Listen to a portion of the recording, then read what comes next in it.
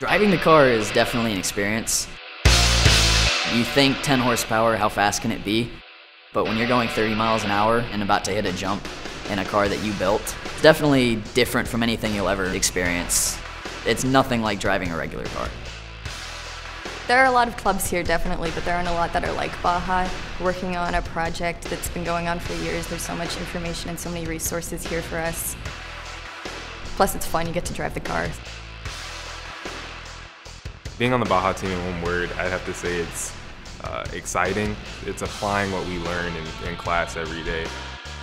We start the year off designing the car. Once we get through our design phase, we start ordering the materials we need. Then we get to the manufacturing stage and we start building the car. The very end of the year before the first competition when we start testing the car. And the testing period is when we go out and we're trying to break the car to ensure that it won't break a competition. It was definitely frustrating to watch things come together and then break and then come together and then break. But it was a learning experience. The race was in Tennessee Tech which is in Cookeville, Tennessee. Leading up to it, we were a little bit behind on schedule, but once we were at competition, I think all our minds were set on, on trying to get the car working, trying to get the car rolling.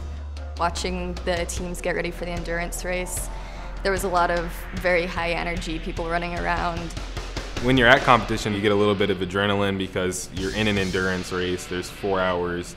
It's all about trying to get as many laps and I had no idea what it was going to be like, and it was definitely a lot more dangerous seeming than I had anticipated. Uh, there were jumps that were higher than what I'd seen before. Definitely on the Baja competition, it's all about problem solving and uh, learning to see your mistakes quickly and, and fix them as fast as possible. A lot of early mornings, late nights, all-nighters, not a whole lot of sleep. And then you look outside and the sun's back up. But uh, I wouldn't trade it for anything. You know, success is a lousy teacher. The amount of failures we had really did teach us how to do it properly, especially for next year.